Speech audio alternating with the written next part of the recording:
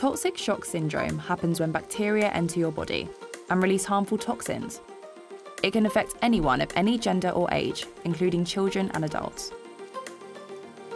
And it can happen for many reasons, like using the diaphragm, or in some cases, giving birth.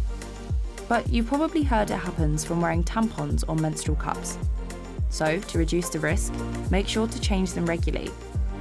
Use the smallest size to fit your flow, and wash your hands before and after changing them.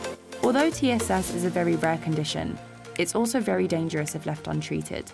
So if you do feel symptoms, like high fever, disorientation, your eyes, throat, or vagina turning bright red, a sunburn like rash on your body, or pain in your muscles or general weakness, go to the doctor as soon as possible and let them know if you've used cups or tampons.